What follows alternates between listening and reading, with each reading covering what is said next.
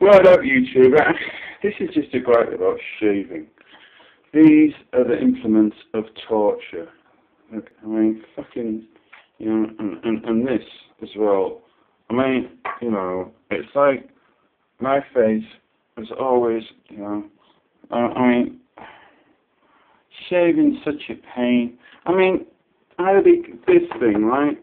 It's a Gillette Contour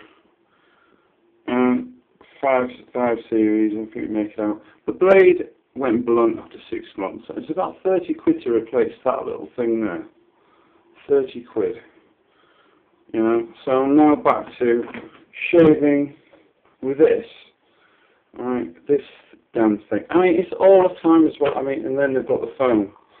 So, for all you people out there who just hate shaving, the, you know, the implements of torture, it's a drag, it's boring. You know, I totally understand and I'm with you all the way, you know.